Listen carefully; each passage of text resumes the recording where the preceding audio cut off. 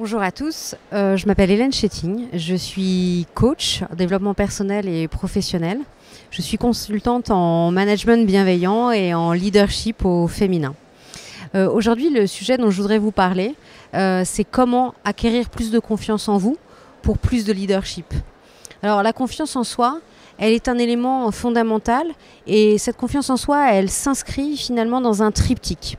Ce triptyque, c'est l'amour de soi, la confiance en soi, l'image de soi. Ce triptyque, en fait, et simplement ces trois mots permettent d'envisager ce que l'on appelle l'estime de soi. L'estime de soi, c'est un élément moteur fondamental quand vous voulez finalement devenir un leader. Et travailler votre confiance en soi, vous ne travaillerez qu'un seul élément de ce triptyque, mais c'est le sujet que je souhaite euh, aborder euh, aujourd'hui avec vous. L'idée, en fait, de la confiance en soi, c'est simplement, enfin, c'est simplement, c'est en même temps très compliqué, mais je vais essayer de le, simplifier au maximum pour que ça puisse être euh, facile à mettre en place pour vous au quotidien ou avec vos équipes, parce que je crois que c'est fondamental si vous voulez passer à un niveau supérieur et, euh, vous sentir en fait euh, légitime et acquérir finalement de nouvelles compétences. Euh, la confiance en soi, elle va euh, vous permettre finalement de réussir euh, ce que vous souhaitez ambitionner. Elle va, cette confiance en vous, vous permettre finalement de travailler et pour acquérir cette confiance en vous, vous permettre de travailler et de vous focuser sur quoi? Sur vos valeurs. Quelles sont vos valeurs? C'est-à-dire la colonne vertébrale, cet élément fondamental sur lequel vous ne souhaitez pas faire de, de concessions. Pour certains, ce sera, euh, je ne sais pas, la justice. Euh, pour d'autres, ce sera euh, l'authenticité. Pour d'autres, donc trouver en fait vos valeurs profondes. Euh, important aussi, c'est euh, au travers de la confiance en soi, c'est de se donner la possibilité d'avoir accès euh, à vos désirs profonds, à vos envies profondes. Qu'est-ce que vous voulez être maintenant? Qu'est-ce que vous voulez choisir d'être maintenant sur votre chemin de développement? Qu'est-ce que vous voulez aujourd'hui pour vous? Et comment la confiance en vous va vous permettre d'accéder à ce que je vous ai dit tout à l'heure? Je vous ai parlé de la confiance en vous pour développer votre leadership. Elle est fondamentale. Pourquoi?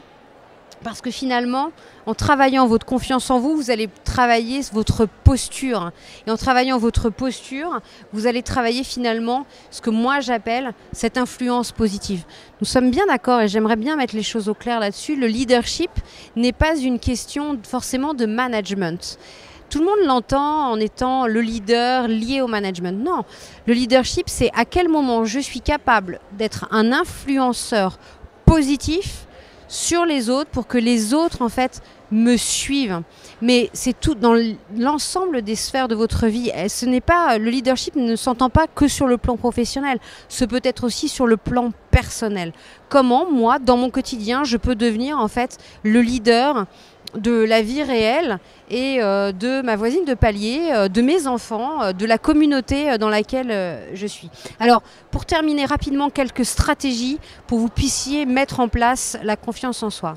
La confiance en soi, alors, tant mieux si sur le plan éducationnel, etc., vous avez reçu assez d'estime positive, assez de choses positives pour que vous ayez une bonne confiance en vous. Là, mon message s'adresse vraiment pour les gens qui souhaitent travailler leur confiance en eux et en acquérir de plus en plus. Ça veut dire quoi? Ça veut dire que pour effectivement euh, euh, avoir plus de confiance en vous, n'imaginez pas qu'il faille faire de grandes choses. La confiance en soi, c'est des petits pas dans le quotidien. Je donne un exemple très concret, c'est d'être en capacité, par exemple, vous êtes au restaurant avec un ami, de demander à changer le plat de demander à faire réchauffer votre viande si elle n'est pas assez chaude. Si la cuisson ne vous convient pas, de renvoyer le plat. Vous allez me dire, mais non, euh, c'est pas ça la confiance en soi. Pour, être, pour avoir la confiance, il faut faire des choses énormes. C'est faux. C'est une croyance. La confiance en soi s'acquiert dans le quotidien, s'acquiert dans le monde réel. Et cet exemple-là est fondamental et il va vous permettre. C'est la boulangère. Ah non, ce pain n'est pas assez cuit. S'il vous plaît, j'aimerais avoir une autre baguette. C'est d'avoir finalement le courage de dire aussi non. Deuxième point dans les stratégies, c'est oser en fait. Oser de dire, oser vous exprimer dans votre personnalité, dans ce que vous êtes réellement, et oser dire non. Non, gentiment, non, je ne suis pas d'accord. Ça ne veut pas dire je m'oppose, ça veut dire je respecte qui je suis fondamentalement. Et ça veut dire, je vous en ai parlé tout à l'heure, je respecte mes valeurs, je respecte mes fondamentaux. Pour terminer, c'est finalement accepter qui vous êtes, dans ce que vous êtes, dans l'ensemble de votre être avec un grand E. Et vous êtes le seul juge positif du chemin que vous parcourez. C'est important de le savoir parce que finalement, vous pouvez choisir dans cette démarche de confiance en vous d'être votre meilleur ennemi ou d'être votre meilleur ami.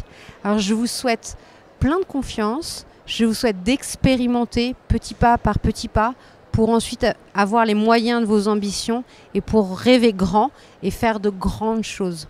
L'aventure continue. Merci infiniment et à très bientôt.